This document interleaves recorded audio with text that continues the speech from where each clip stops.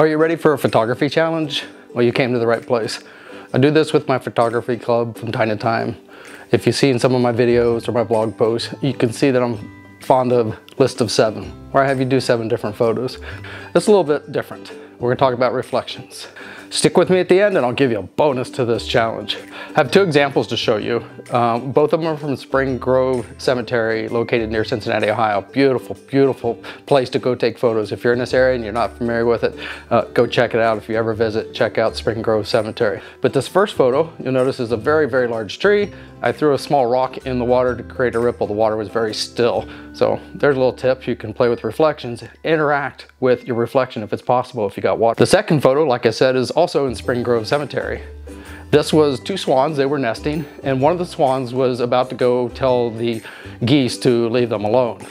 So I'll show you this photo, and I actually created a, uh, a grid of the same photo. One of these photos are upside down. And we'll see if you can guess which one is which. If you want to try to guess before I tell you, pause the video. But in the meantime, if you're enjoying my videos, hit the like and subscribe for me and give me a comment down below that you've seen my video and what you're doing with this challenge. So back to the swan photo. The photo on the left is the one that is right side up. Did you get it right? So let's get creative with this challenge. I promised you that we'd get creative at the end. I've always had list of sevens. I've got multiple challenges like that. I've got a couple videos I'll link at the end. So if you wanna see the list of seven challenges, I've got two of them. I've done more. I'll make more videos for more, more list of sevens. But for this one, we're gonna make the whole month of May reflections. But the challenge is, see how many different reflection photos you can get in seven days.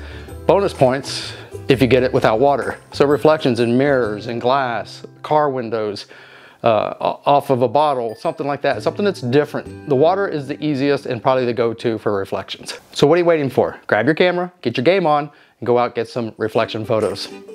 As always, thanks for watching. It's Doug Gabbard practicing photography, getting better one photo at a time.